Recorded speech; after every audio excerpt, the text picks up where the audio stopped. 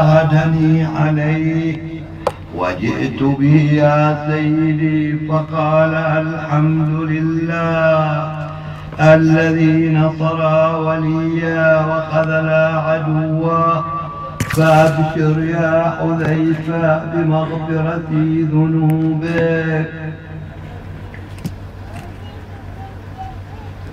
قال ولما حمل عليه السلام من مصلى والناس من حوله قد أشرف على الهلكة من شدة البكاء والنعيم وبلغوا به منزلا ومعه ابن ملجام لعنه الله موثوقا وأقبلت الضاءمة فاطمة الزهراء عليه السلام وبيدها حرب فقالت أموالي ذروني أضرب عدو الله بهذه الحرب فأشفي بعض جوى صدري فقد أحرق فؤادي وأقلق رقادي وهيج حزني وأوهى ركني وأجرى دمعي وهتكى ستري واجتث أصلي وفقري وانقضت عليك الشهاب فقال لها الحسن عليه السلام اصبر يا أمة الله وردها إلى الدار فقالت لابن ملجام اللعين ويلك يا عدو الله فجعتنا وجميع الإسلام. فمصيرك إلى النار ولا بأس على سيدي. فلقد قتل في جنب الله واختنقت بعبرتها فقال لها ابن ملجم اللعين. يا أمة الله ابكي على نفسك إن كنت باكيا.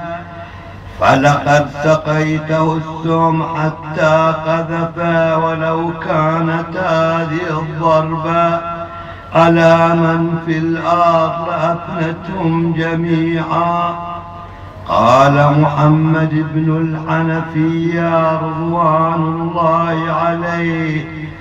لما طرحنا على فراشه أقبلت أم كلثوم وزينب عليهما السلام وهما يندبان ويقولان من للصغير حتى يكبر ومن للكبير بين الملايا أبتاه حزننا عليك طويل وعبرتنا لا تبرح ولا ترقى. قال فضج الناس من وراء الحجرة بالبكاء والنحيب وفاضت دموع أمير المؤمنين.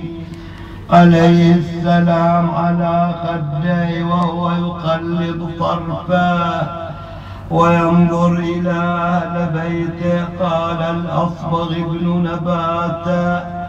رضوان الله عليه غدونا على أمير المؤمنين.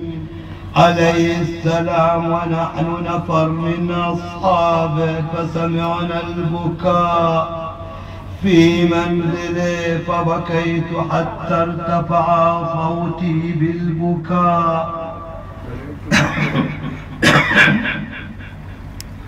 فخرج الحسن عليه السلام وقال ألم أقل لكم؟ انصرفوا فقلت لا والله يا ابن رسول الله لا تتابعني نفسي ولا تحملني رجلي أن أنصرف ولم ولم أر سيدي ومولاي. وبكيت ودخل الحسن عليه السلام فلم يلبث أن خرج إلي فأدخلني معه فوجدته معصب الراس بعمامة صفراء فلم أشعر أن وجهه أشد صفرا من من العمامة. أو العمامة أو العمامة أشد صفرة منه فنظرته وأنا أبكي فقال لي لا تبكي يا أصباغ إنها والله الجنة فقلت جعلت فداك يا سيدي إنما لفقري إياك ثم دعا بابنيه الحسن والحسين عليهما السلام. وفتحا يده وضمهما إلى صدره وعيناته ملان دموعا ثم أغمي عليه الساعة. طويلة وافاق وهكذا كان رسول الله صلى الله عليه وآله.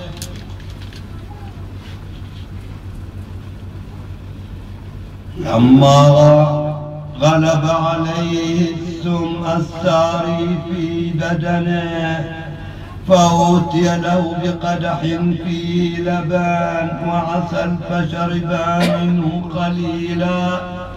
وقال احملوا إلى أسيركم بحقي عليكم. طيبوا طعامه وشرابا فقالوا إنه قد أفجعن فيك فقال